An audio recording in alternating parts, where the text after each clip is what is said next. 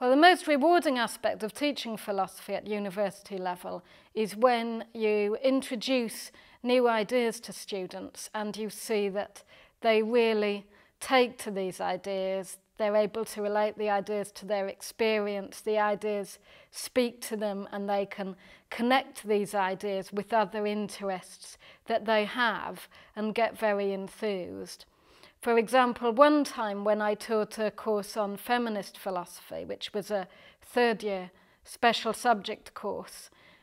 a group of students took it who had just quite a vague idea of feminism initially and they were really excited to discover the whole range of views and theories that actually exist in feminism, much broader than they had any idea previously existed. And many of these ideas really spoke to them a lot more than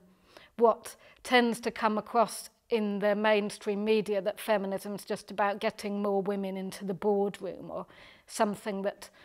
may not speak to people.